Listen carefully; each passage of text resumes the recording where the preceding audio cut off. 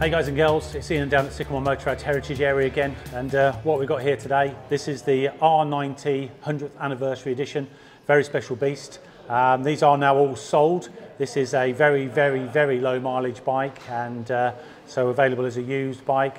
It's as near to a new bike as you'll get, so um, there'll be very few of those out there to buy. Some very special features. It has all of the 719 kit on it here, the engine covers, the chrome tank, the chromed rear seat here. Um, there's a dual seat for this as well, so it's a two-seat bike, this one. Dual clocks, all the 719 options, including the mirrors on here. Beautiful bike, hand pin striping. This one also has the Akrapovic exhaust um, and those really special spoked wheels as well. So 719, 100th anniversary, R9T, very, very rare now um, on the used market. So come down to Sycamore Motorrad Heritage area, have a look at the other air-cooled bikes we've got down here in the Heritage area, and come look at the other R9Ts as well. May life for ride.